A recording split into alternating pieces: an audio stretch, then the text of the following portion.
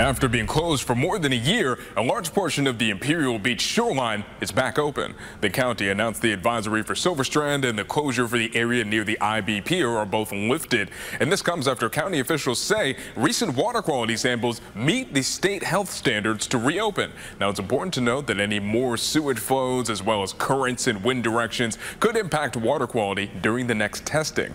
But today, locals could get in the water for the first time in nearly three years. ABC 10 News reporter Danny Miskell was in the South Bay earlier, where surfers and beachgoers were taking full advantage of the clear waters.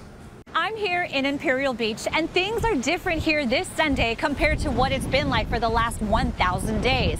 The County of San Diego shows that this water is clean and safe to get into. It's just fun to be at home. Bryson and his dad Casey wrap up with surfing at their home beach, and they tell me they've spent the whole summer traveling to other beaches. But when they checked the county's Beach and Bay website this morning, they saw it was lit up green. We're always looking every morning, hoping, praying that we'll see green, and today happened to be one of those days.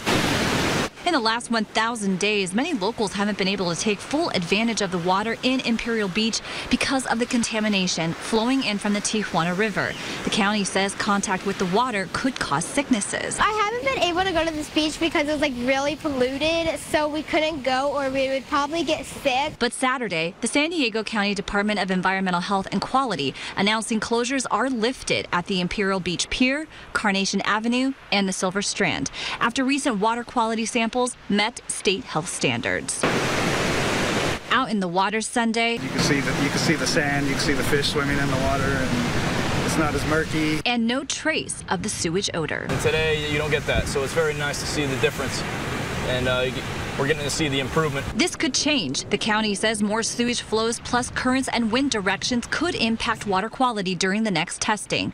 But for the first weekend of fall, it still felt like a summer day. I get to go in the water. The ocean is blue. And of course, the day I come there, I see dolphins jumping out of the water. In Imperial Beach, Danny Miskell. It's such like a dream come true. ABC 10 News. An advisory is still in effect at Glorieta Bay Park shoreline and the La Jolla Cove. Meantime, the Tijuana Slough is still closed.